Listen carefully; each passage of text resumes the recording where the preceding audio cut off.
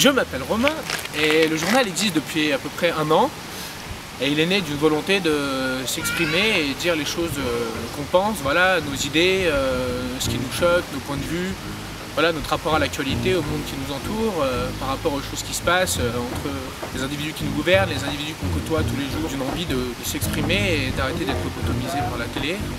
Et il est né il y a environ un an, voilà, à la suite d'une rencontre dans les milieux dans les milieux mouvementés de la fac, au moment où il y avait les, mouvements contre la LRU, euh, c'était en 2007-2008, c'est comme ça qu'on a commencé à se rencontrer.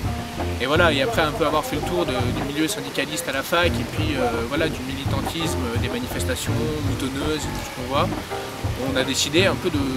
Voilà, on a eu cette envie de se démarquer, euh, parce que ça ne nous intéressait pas, on n'avait pas envie d'être des boutons, et envie de, s'exprimer librement avec nos idées, vraiment comme on les pense, avec notre cœur. Et donc le journal s'est créé comme ça. Et donc on était cinq euh, au départ, euh, nous deux, euh, Romain et Sacha, et puis trois filles, Camille, Élise et Julia. Julia qui est partie à Nantes aujourd'hui, qui ne participe plus au journal, et Camille et Élise qui, sont avec nous, qui nous soutiennent énormément.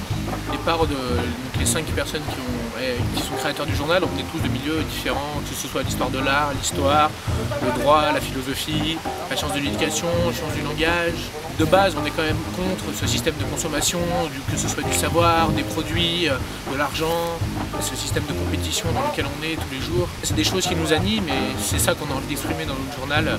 Et c'est vraiment de là qu'est partie la, base de, journal. Et un brin provoque. Euh, comme on pourra le souligner plus tard, euh, voilà, pour choquer un petit peu, pour dire que voilà, les choses il faut les dire et que merde. Donc euh, je m'appelle Sacha et je participe aussi au journal, euh, je m'occupe un peu de l'impression, je dessine dedans. J'écris dedans mais là je ne donnerai pas mon pseudo parce que je dis des choses qui, sont un peu un peu, un, peu, un peu des fois qui peuvent faire siffler les oreilles de certains. Pas, moi j'aime pas le mot militant donc j'ai pas envie de me qualifier de militant, je préfère être engagé parce que militant déjà j'entends le mot militaire et je déteste ça. Et engagé, oui, parce que je, voilà, on n'a pas de dogme, on ne veut pas suivre une idéologie parce que moi je trouve que ça, divise les masses. on ne veut pas que notre canard se fasse récupérer par la CGT, par un, parti de gauche, par, collectif. Enfin voilà, nous on tient, on est très attachés à notre indépendance et on a horreur des étiquettes. Voilà, ça c'est l'une des lignes de conduite du journal. Après, euh, ce qu'on veut, c'est vraiment l'expression. Il en a parlé tout à l'heure, mon camarade Romain l'expression. On est, ces temps-ci, on est dans une société de consommation et on consomme, voilà, on fait que recevoir. Et nous, ce qu'on veut, c'est justement que les gens oublient un peu de consommer et eux-mêmes puissent recréer. Euh, on a tous un potentiel en nous, il est différent, mais voilà, on a tous une capacité d'expression qu'il faut qu'on puisse préserver, quoi, euh, on existe, on est tous, on est tous des individus. Et c'est, oui, enfin voilà, moi c'est pour ça que c'est ça que j'aime dans le journal, c'est que ce qui est important, c'est vraiment que les gens euh, existent. Ah, par contre, il y a un côté dans le journal, le foutoir, qui ne plaît pas à tout le monde, c'est le côté provoqueur. En fait, si vous voulez, on fait partie d'une génération qui avons grandi avec Glacial, avec Harakiri, et c'est vrai qu'on, par contre, il y a une grande influence de tous ces journaux euh, dans le temps parce que euh, parce que à notre génération, maintenant, en 2010, on trouve qu'il euh, manque quelque chose. Il y, avait, il y avait une sorte de rage qui, émanait un peu de, ces journaux, de ces caricatures qui étaient assez fortes.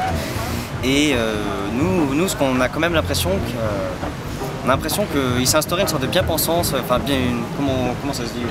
Bien-pensance, ouais, voilà, ouais, une bien-pensance euh, à l'heure actuelle, chez les jeunes en plus, ce qui est grave, c'est grave.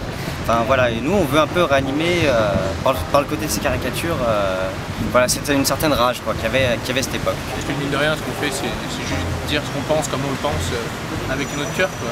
Et c'est un peu l'âme du journal, c'est faut être passionné voilà, pour avoir envie de dire les choses librement et sans se faire taper sur les doigts dès qu'on dès qu'on sort du chemin.